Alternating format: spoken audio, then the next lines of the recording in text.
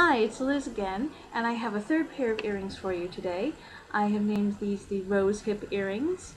Um, they're a bit more spring-like in palette and nature than other things I've done today, but they are very pretty and easy to put together, and most importantly, they mimic some of the techniques um, in the DIY kits available at my Etsy store. So if you're um, absolute beginner at all this, you can watch as someone puts this th sort of thing together, and you have an idea of what I'm talking about. So start off at the top, I've got a fishhook ear wire. Some people like these, some people don't. You can use any sort of earring finding you prefer. I like these because you can often buy them in bulk, and they seem to go with everything. And moving down we have a couple of jump rings, which we will need for the project. We will need ultimately four jump rings. I've used a silver color here. This would be equally nice in gold, brass, copper, whatever you prefer.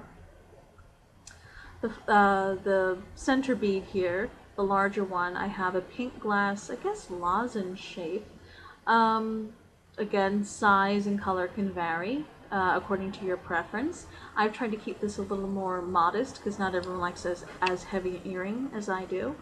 So this is actually a very light, breezy thing to wear. So below that center bead, we have a length of chain. This is about two and a half inches long. Um, you can change up the, the length of the change, the length of the chain as much as you like. Um, I, I think about a good inch is interesting. Um, I chose a longer one, number one, because I find it interesting to look at, but number two because it was large enough that people could easily see what I was doing. If I was messing around with a little half inch of chain, it might be hard to see what I'm getting at. Um, but consider this sort of uh, a baseline, and you can make it as long or short as you like it. As long as you get the jump rings on, it's all good. So at the end of the chain, we have a little miniature dangle with two simple, uh, two simple loops. This is a round uh, pink, nice plastic bead and, that I found in my spare bead drawer, and I have a pair of them here. And at the end, finally, there's a glass leaf charm. These things are really cute. And it reminds me, altogether, it reminds me of the tea roses that my husband planted at his mother's house. Hence the name Rose Hip Earrings. So, to get started here, uh, we're going to have a look at the beadboard. So, there we go. Join me here. We have the tools lined up. I got pliers one, plier number two, and of course, uh, wire cutters. Yes, that's what they're called. You can tell I've made several tutorials in a row. I'm tripping over my own tongue here. Okay, on the beadboard itself, I've lined up the earring uh, ingredients in the order I'll need them. Uh, if you get in the habit of doing that as a beginner, it will really help you as you progress along. It's just uh, easier to find what you need or in case something is missing.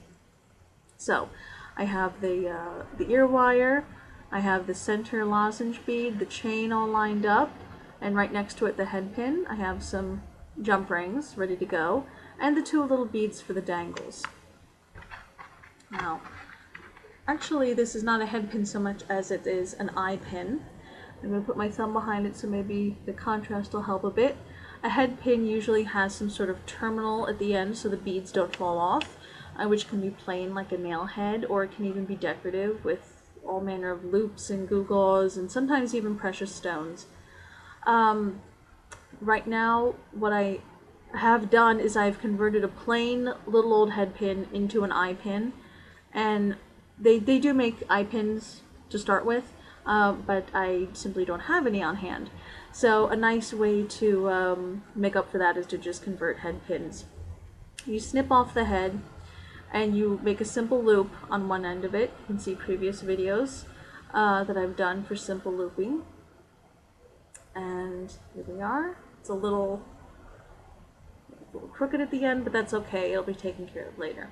So you hold it with the loop on the bottom, and you put your bead on, and grasp your pliers at your bead.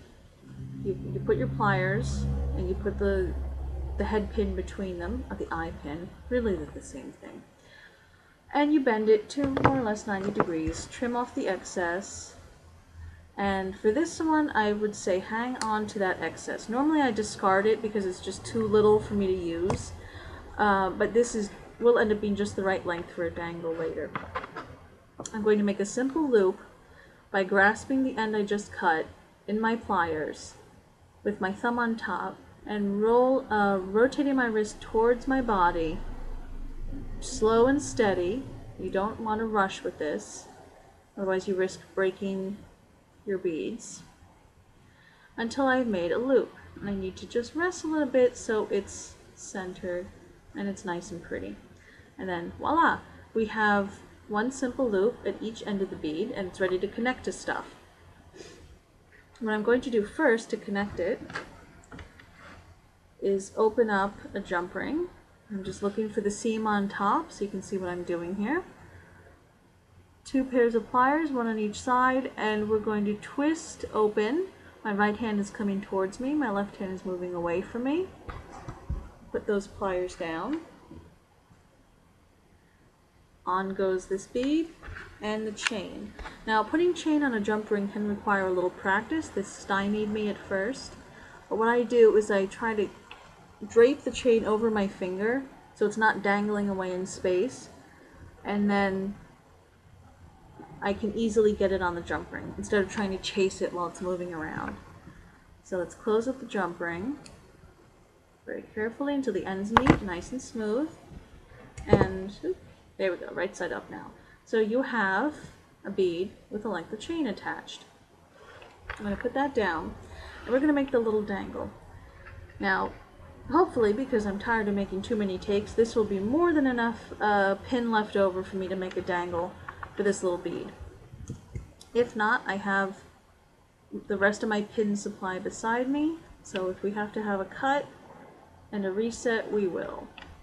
I'm going to make one loop on one end. Okay, on goes the bead. Ah, okay, thank heavens, it's going to be enough. It saves me some embarrassment. Uh, make another simple loop. I have a little bit more than I need, so I'm just going to trim off a little bit. Because I don't want the loop to be too large. It'll look funny. After a while, you, oh, good heavens, that, uh, by the way, that was a uh, bad crafting habit. I was pulling the loop too hard. Um, hopefully, um, if that ever happens to you, and, and, I'm sure it will because we're all human, um, you don't end up damaging anything on your beadboard or more importantly yourself. Um, just go slow and steady and gentle with the pliers. You can tell I'm nervous making the video. So luckily I didn't really have anything on my beadboard that would go flying. So, okay. My simple loops are done. And now I can open up some more jump rings to attach this to the chain. And of course, the leaf at the bottom. Where's my seam? Okay, another jump ring open. And remember when you're opening the jump rings, only open about as much as you'll need. You don't want to wrench the entire thing open uh, because that can break the jump ring or weaken it enough where the unthinkable will happen and it will break while the piece is being worn. Which you certainly don't want. So just enough. And after a while, you will develop sort of a, a better, eh, I don't want to say sixth sense, but you'll, you'll develop a sense of just how far open you need to open the jump ring or just how much excess wire you need to cut off. And, but that is, again, is something that comes with practice. You, you learn to exercise good judgment. Okay, on goes the leaf, and let's close up this last jump ring, or next to the last jump ring. Okay, we're almost there. Now we have to attach the ear wire and we're finished. So repetition is key here. Repetition is practice and if you mess up a little bit, jump rings are cheap, they come in bulk, you'll be okay.